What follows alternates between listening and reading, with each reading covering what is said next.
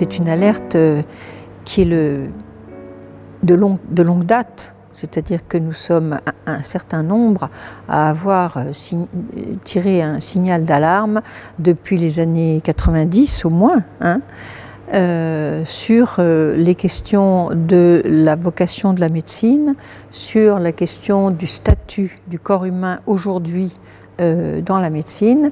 Et ça date au fond du choc euh, qui est arrivé en France après le développement de la pratique dite des mères porteuses, des mères de substitution, euh, surrogate mother comme disent les, Américains, qui est arrivé euh, jusqu'à nous. La question s'est posée et, et, personnellement, je crois que d'ailleurs la pensée vient toujours d'un certain choc, d'un certain scandale. Et tout à coup, le fait que on puisse, au-delà de l'Atlantique, acheter à une femme sa grossesse, son accouchement et finalement son enfant, ça a été pour moi un choc terrible. Et pour beaucoup, beaucoup de femmes, et au-delà, beaucoup d'hommes et, de femmes. Et à ce moment-là, je me souviens de nos débats, notamment entre femmes, avec des féministes de tous horizons.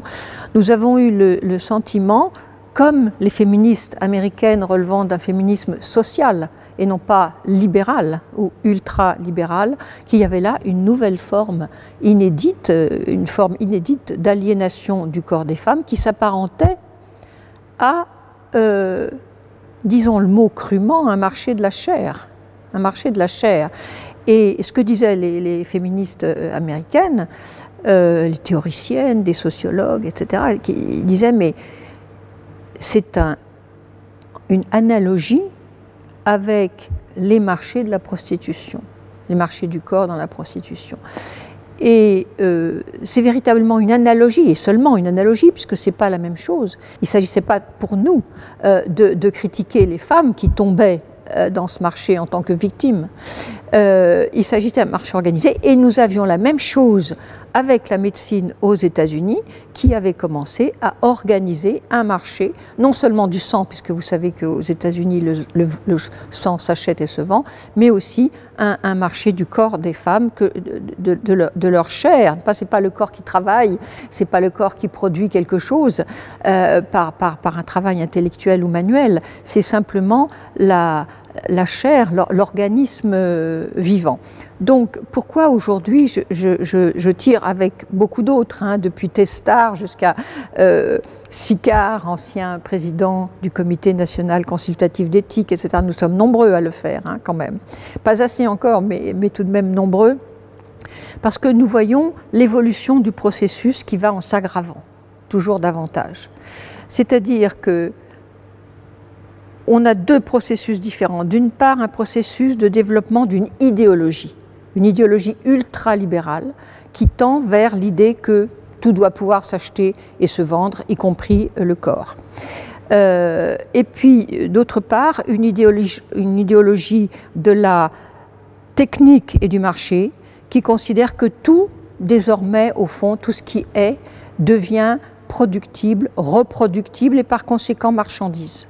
C'est vraiment l'alliance des techniques et du marché qui a fait basculer la médecine dans un autre projet que celui du soin à la personne et de la guérison des pathologies, de la réparation euh, du corps, et qui l'a fait basculer de, cette euh, vocation, en quelque sorte, du soin, vers une vocation productive, c'est-à-dire ce que j'appelle couramment anthropotechnique, qui a été un mot fait sur zootechnique, c'est-à-dire lorsque l'être humain n'est plus considéré comme une personne et avec son intérêt, sa santé, etc., mais qui est considéré comme une ressource biologique à partir de laquelle on va pouvoir soit en soigner d'autres, dont du sang, et ça le don, il faudrait faire la différence, évidemment on y reviendra si on a le temps entre le don et le marché, c'est pas du tout la même logique, euh, le corps humain devient littéralement une ressource, soit pour la réparation, dans le meilleur des cas,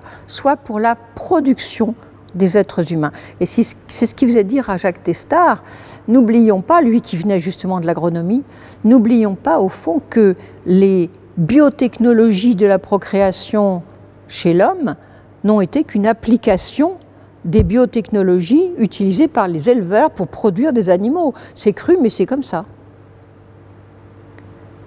Et je, voulais dire autre, un autre aspect dans l'évolution. Là, je parlais de la technique, du marché, de l'ultralibéralisme, euh, tout ce qui, qui s'appelle aujourd'hui le prétendu progressisme. Faire très attention. Le débat n'est plus, n'est pas, contrairement à ce qu'on nous dit constamment, entre le progressisme et les conservateurs. C'est pas vrai. Ce qui s'appelle aujourd'hui progressisme, c'est ça, c'est l'ultralibéralisme, la technique, la production, le marché.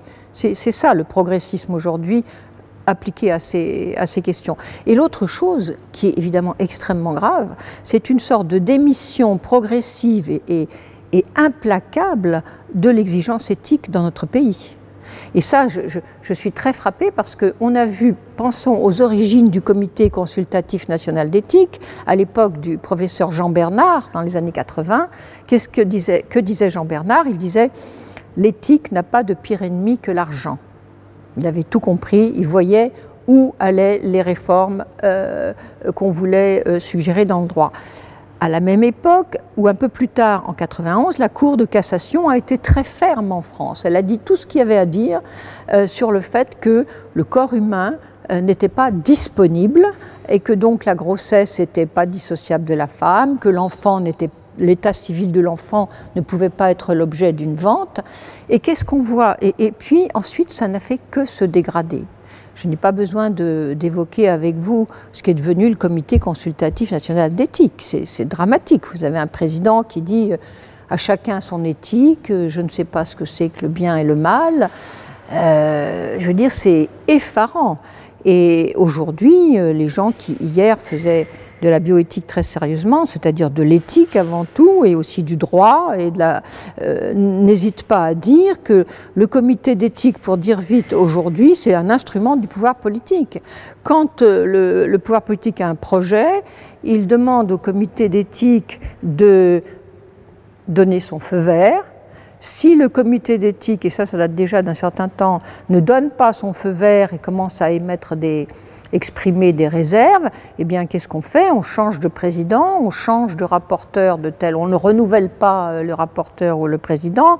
Et aujourd'hui, c'est une chose absolument évidente. Donc, les choses sont graves. Alors, sur notre projet précis, le projet de loi dit bioéthique, qui n'a aucun rapport avec une véritable euh, éthique aujourd'hui, qu'y a-t-il de particulièrement grave du point de vue des sujets sur lesquels j'ai travaillé, parce qu'il y a beaucoup d'autres sujets, bien entendu, qui sont ceux de la euh, procréation et, qui touchent justement au statut des femmes, des hommes et euh, des enfants. Qu'y a-t-il de si inquiétant? Eh bien, c'est assez simple. Euh, c'est que notre droit est en train de s'efforcer de copier, c'est un copier-coller, le droit californien.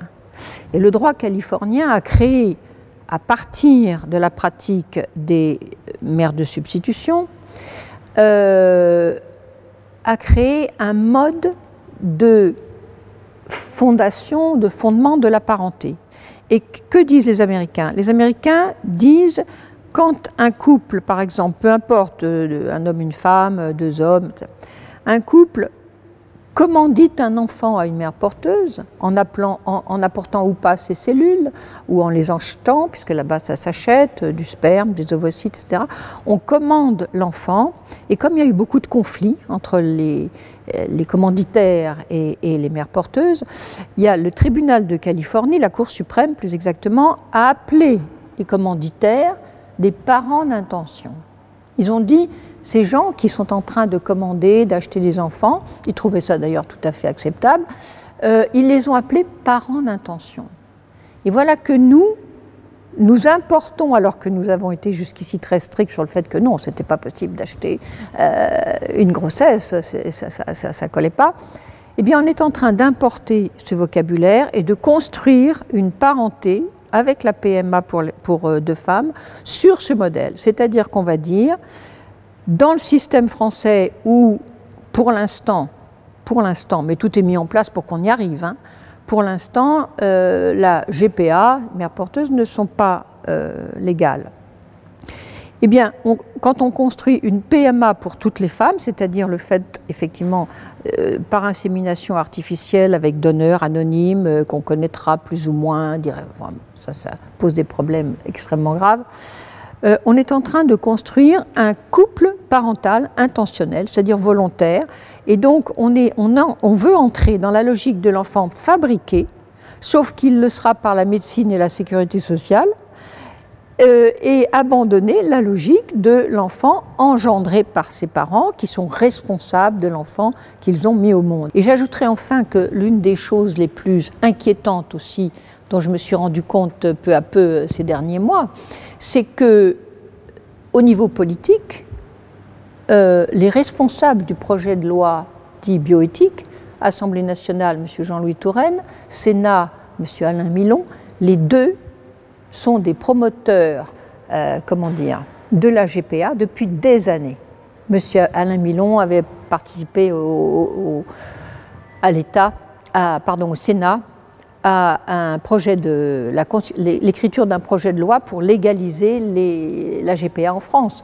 Donc on voit que tout est verrouillé d'une certaine manière et qu'on sait très bien où on va, même si certains disent non, non, non, pas de droit à l'enfant, pas de GPA. Euh, enfin, vous avez vu toute la progression euh, vers, vers euh, quelque chose qui paraît aujourd'hui de plus en plus programmé et avec une résistance dans l'opinion qui est faible parce qu'on a une propagande considérable en faveur du bonheur des couples qui vont avoir un enfant et, une propagande qui, garde le silence sur le prix, entre guillemets, euh, mais en tous les sens du terme, à payer pour satisfaire cette demande.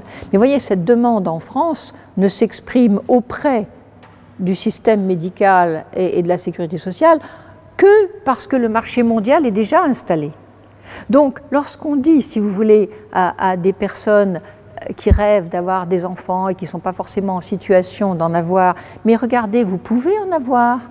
Vous pouvez acheter des cellules, vous pouvez acheter des, ventres féminins, en tout cas les louer pour un temps. Ah mais oui, donc c'est accessible, donc l'enfant est un, objet qui devient accessible par le marché. Et alors, bon, ici d'accord, il n'y a pas de marché, on, prétend qu'on ne veut pas de marché, mais on va y avoir accès tout de même euh, en instrumentalisant le corps d'autrui et en attendant que le marché s'installe, parce que c'est quand même ça le but.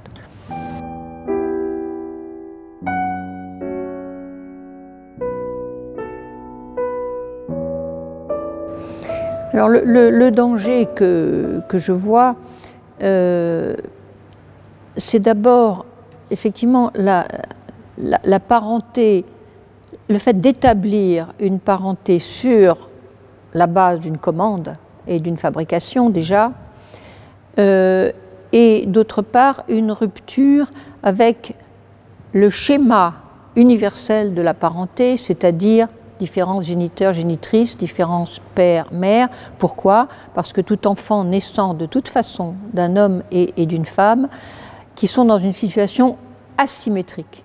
Ils ne font pas la même chose l'un et l'autre. Ils n'ont pas le même rôle dans la, dans la naissance. Euh, eh bien, cette structure asymétrique, elle existe partout. Euh, les anthropologues le disent bien, y compris euh, Lévi-Strauss. au fond, le couple parental a été construit sur cette asymétrie, père-mère, géniteur-génitrice, même quand euh, la mère ou le père ne sont pas les géniteurs réels. Même dans ce cas, il y a partout, au fond, un père, une mère, des oncles, des tantes, etc.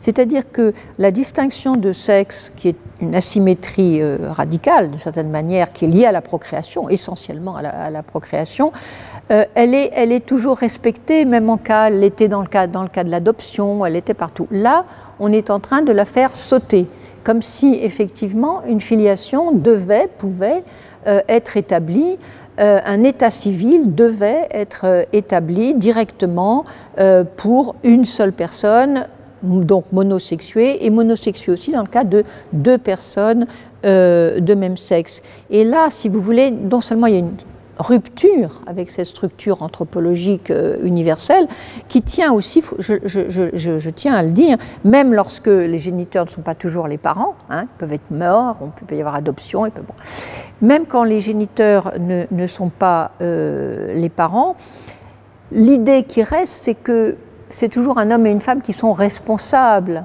de la naissance est responsable ensuite de l'éducation d'un enfant. Il faudrait développer ça beaucoup plus longtemps que nous ne pouvons le, faire ici. Et puis l'autre chose, c'est que euh, établir une filiation a priori euh, sur la commande d'un enfant par deux personnes de, même sexe, par, euh, par hypothèse, c'est évidemment priver l'enfant d'une euh, parenté comparable à celle des autres enfants. C'est quand même le mettre dans une situation d'inégalité de destin a priori. Alors bien sûr, on sait très bien qu'on peut manquer de père, de mère, parfois des deux, euh, en raison euh, d'un, on dit souvent d'accident, mais c'est vrai, de hasard malheureux la maladie, la guerre, la mort, l'irresponsabilité d'un des parents ou parfois des deux, mais qui est, une qui est justement, cette irresponsabilité dépend des individus, dépend des personnes. Et l'enfant aura affaire à cette histoire et peut-être comprendre pourquoi ses parents n'ont pas pu accepter leur responsabilité parentale. Alors que si la médecine et la loi décrètent, eh bien, nous allons fabriquer un enfant avec des cellules euh, d'un inconnu.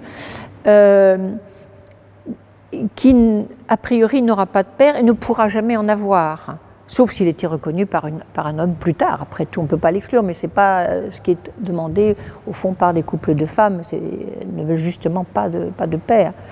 Donc, euh, euh, c'est décider pour l'enfant d'un mode de naissance différent des autres. Et, encore une fois, qui tiendra à la responsabilité de l'État et du médecin, du législateur. C'est le législateur qui sera responsable du fait qu'il n'ait pas de père. Alors, les parents, euh, les mères, par hypothèse, le seraient également, mais elles le seraient, au fond, appuyées sur la loi. Et ça, c'est une vraie question d'éthique et, de, et, de, droit. Est-ce que aujourd'hui, les modes de procréation assistée nous obligent à repenser le droit de l'enfant, non pas seulement en ce qui concerne les enfants déjà nés, ce qui est crucial, mais aussi les enfants à naître. Quel est le droit? C'est une éthique du futur, hein, comme dirait Ancionas. Euh, le droit doit s'interroger sur la manière de faire naître un enfant euh, n'est pas étrangère au statut de cet enfant selon le droit, selon la loi, selon son humanité. C'est même la raison pour laquelle on a interdit le clonage, euh, la reproduction humaine par clonage. On a bien considéré qu'il n'était pas digne pour l'enfant d'être né euh, par clonage. Donc ce précédent qui consiste à tenir compte des techniques contemporaines pour dire non, on ne fait pas un enfant comme ça avec toutes les analyses que je ne peux pas reproduire maintenant, mais pourquoi on ne fait pas un enfant comme ça? C'est un enfant évidemment programmé, instrumentalisé, commandité parfois, qui pourrait évidemment également être euh, acheté. Donc c'est une question, j'aurais dû même commencer par là tout à l'heure, qui porte sur la dignité des êtres humains, la dignité des parents, leur liberté certes, mais aussi leur euh, responsabilité, euh, la dignité du corps humain, de la mère, du père, euh, la dignité de l'enfant, qui est une personne et qui n'est pas un objet. Donc, c'est très important parce que le fait que, ça c'est notre histoire euh, profonde, hein, euh, le fait que l'enfant ne soit pas un objet, ça veut dire qu'il ne peut pas être un bien, ça ne veut pas dire qu'il peut être commandé et, fabriqué, et encore moins évidemment acheté.